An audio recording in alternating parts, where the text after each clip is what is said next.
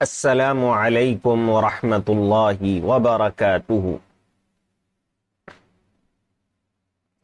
अल अल्फाजुल किताबिया हमजानी की किताब का ये बाब आज हम पढ़ रहे हैं मुतरदिफात की किताब है ये कि एक माने के लिए कौन कौन से अल्फाज अरबी में इस्तेमाल होते हैं बाबू तजरिबा तजरिबा करने के लिए कौन कौन से अल्फाज आते हैं? और अरबी में जर्रबा, युजर्रिबु, तजरीबतन के मायने होते हैं परखने के। जर्रबतु का, मैंने आपको परख लिया है। क्योंकि मामला करने से पहचान में आ जाती है चीज़। तो उर्दू में भी तकरीबन वही मायने साहिब तजर्बा मतलब ये परख चुका है, चीज़ों को पहचानता है। तो इसके लिए आप कहेंगे जर्रब जर्रबतुर्रजुला आप कहेंगे, जर्रबतु सदीका। मैंने दोस्त को पहचान लिया है, उसका तजर्बा कर लिया है। इख्तबर तू का आप कहेंगे, मैंने तुम्हें जाँच लिया है। इख्तबर तू का। इम्तहाना भी एक लफ्ज यहाँ आप बढ़ा लीजिए।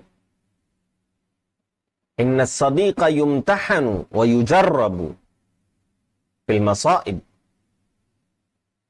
और एक लफ्ज आता है अजम तुहू या अजम तुदहू आज़म असल में काटने को कहते हैं अलअू तो अजम तुदहू कहते हैं, मैंने उसकी लकड़ी को मैंने चबाया मतलब इदा अवजतहू लितालम सलाबतहू मिन खवरी आपने उसको काटा ताकि ये जाने के कितनी मजबूती है मिन खवरी और कितनी कमज़ोरी है। खबर मने कमज़ोरी। उसकी मजबूती को जांचने के लिए कमज़ोरी में से कि ये लकड़ी कितनी मज़बूत है। तो आप कहेंगे, अजम तो ऊदा फुलानिन। मतलब मैंने फुला की लकड़ी को मुँह में चबाया तो उससे पता चल गया इसकी लकड़ी कितनी मज़बूत है। मतलब इसकी हालत का मैंने अंदाज़ा कर लिया है। तो अजम तो ऊदहू। अवाजिम कहते हैं दांतों को, क्योंकि उससे चाबा जाता है। आज़म याजुमु। बलऊ तो अमरहू के मायने में आता है, यानी उसका मामले को मैंने जाँच लिया है। खबर तो हालहू। उसकी हालत से बाखबर हो गया हूँ। इसको बाब फाल में ले जाएँगे तो आजमतुल किताबा, उसके मायने एराब लगाने के हो जाएँगे। किताब की जो अजमियत दूर कर दी, इसमें इजाले की खसूसियत हो जाएगी।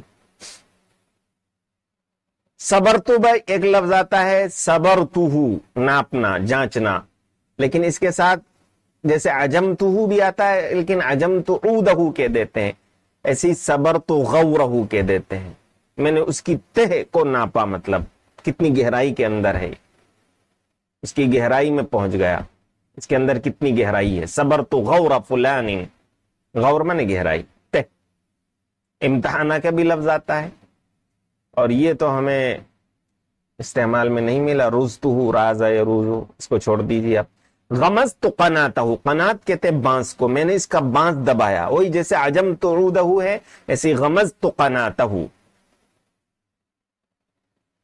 हलब तो शत्रहू। यानी उसके चारों किनारे मैंने धो लिए। चार थन होते ना, गाय के और भैंस के तो चारों थन मैंने धो लिए।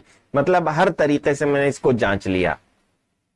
ये भी लफ्ज इस्तेमाल होता है। हलब तो शत्र जमान कहते हैं। जमाने के दोनों थन मैंने धो लिए। बकरी के दो होते हैं तो शत्र जमान भी आता है। यानी जमाने की दोनों हालतें मैंने पहचान ली है। अच्छी हालत भी, बुरी हालत भी। उस वक्त कहते हैं हलब तो शत्र जमान। फतश्तु भी कहते हैं फतश फतश्तु का मैंने तुम तुम, तुम्हारी तफ्तीश कर ली। इस्तशफ़ा भी लफ्ज इस्तेमाल होता है। इस्तशफ इस्तशफ़ा अलालिम अखलाक अन्नास आलिम ने लोगों के अखलाक का जायजा ले लिया। हन्नकहू का भी इस्तेमाल होता है। हन्नक तू अर्रजुला, आदमी का मैंने तजर्बा कर लिया। अलमुहन्नक कहते हैं वो जिसका तजर्बा कर लिया गया हो।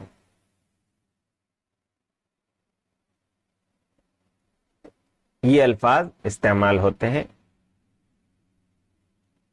कि सबरा जो है, असल है सबरतुल जुरहा, जख्म को नापा।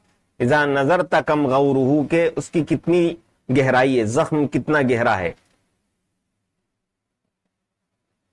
ये मौका मुनासिबत से आप सेलेक्ट करेंगे कि कौन सी ताबीर किस जगह इस्तेमाल करना है। वाखिर दावाना अलहमदिल्ला रबालमीन वसल वसलम अला